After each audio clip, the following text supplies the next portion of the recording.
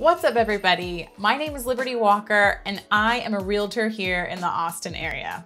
These are my top tips on how to be successful or stay successful in real estate.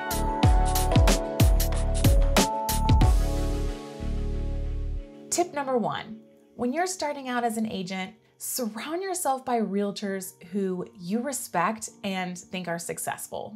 By talking to different realtors, you might be getting a feel for what kind of real estate you want to do, whether it's listing homes, maybe being a buyer's agent, maybe joining a team. It is so important to start a community right in the beginning those realtors are going to act as a resource for you to get your business kickstarted. Tip number two my recommendation to newly licensed agents, if you want to just dive in and do as many transactions as possible, is to join a team.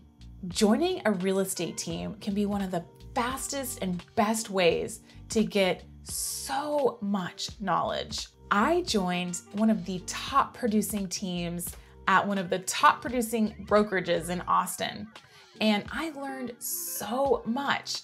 I was able to work with someone who had been in the business over 20 years, and she was my mentor. Tip number three get organized. This is so important, and maybe it should be step one, two, and three.